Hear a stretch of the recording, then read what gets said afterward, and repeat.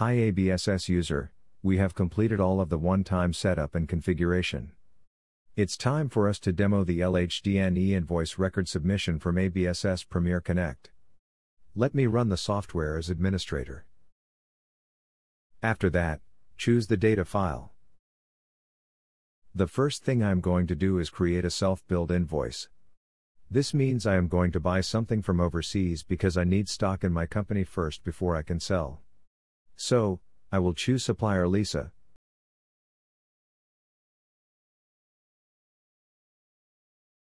And then change the layout to item layout.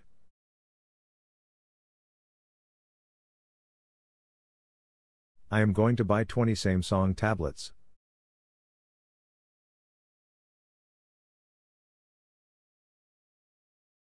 After that, I will indicate to LHDN that this is a 28 day LHDN term.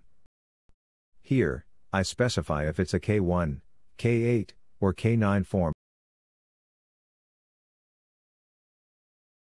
and what the Incoterms are. Next, what needs to be filled out? If this is the billing frequency for a monthly basis, I just type monthly. Then, probably the date comes next.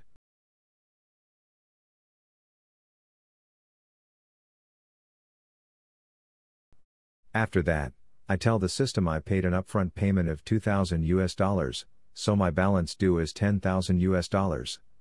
Now, let's take a look. Click the record button, then click OK. The system will ask, self-billed recorded, do you want to send this self-billed invoice to the e-invoice service? I will say yes.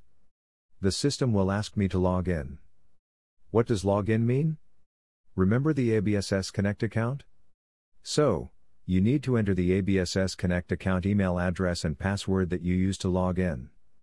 Click the login button and you will see this form send e-invoice. Just click send, and after that, wait for a while.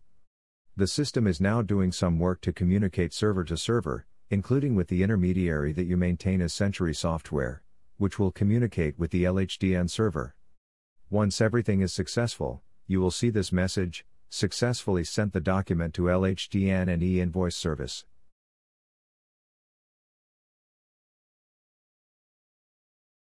Now, let's take a look.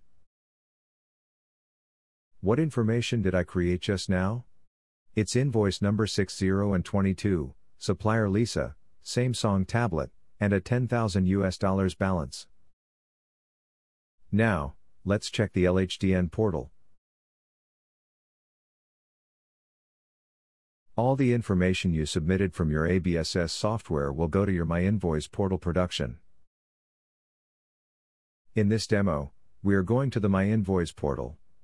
As you can see here, there is a self-billed invoice created with an invoice number. Let's click into it and take a look. It's a valid self-billed invoice. Now, let's look at the details. At the top left-hand side, you can see the supplier information which includes supplier Lisa's details. These are the details I maintained in the sample data earlier.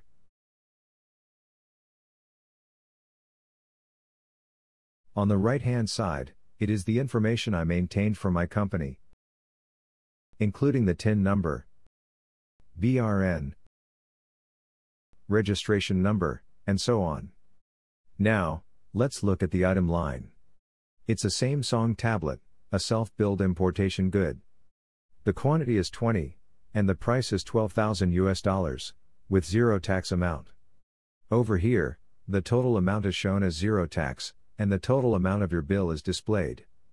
Then, the prepayment amount is 2000 US dollars.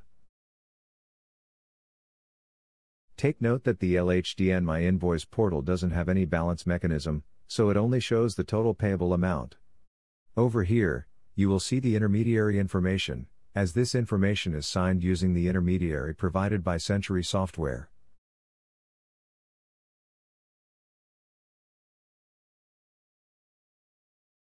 Now, let's look at more details.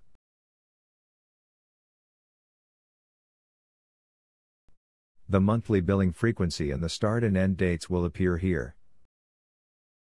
Since this is a self-billed e-invoice, there is no supplier bank account detail and no payment mode to send to LHDN.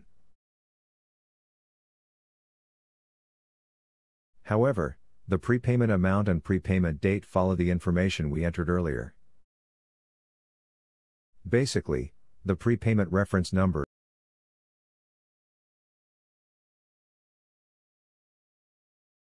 is the same as your document number, and your prepayment date is always the current date. Following that, the K1, K8, and K9 numbers and the Incoterms are shown.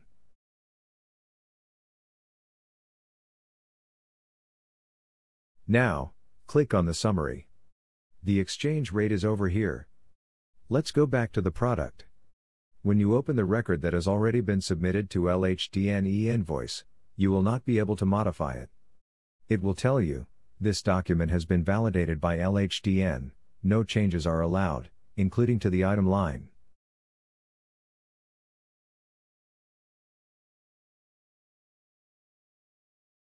What you can do is click View e-invoice details. And you will see the information captured by the system, including the unique identifier number provided by LHDN, the date and time of validation, and the status of the e-invoice. Most importantly, there is a QR code created by the system, which you can scan using your mobile phone. If you open it from the browser on your mobile phone, you should be able to see the same information, 12,000 US dollars. Buyer is Kuki E10 Premier, and the supplier name is Lisa. I won't be able to show the mobile phone screen in this demo. The good thing about the ABSS product is that you can click the Preview at ABSS Connect button, and the information will display on your internet browser as a PDF. This is the first template we have created for LHDN.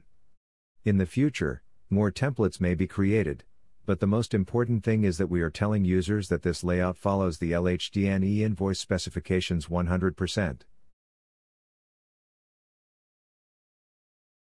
As you can see here, we also include a QR code. When you scan the QR code, it will give you the same information. That's it for the self-billed journey.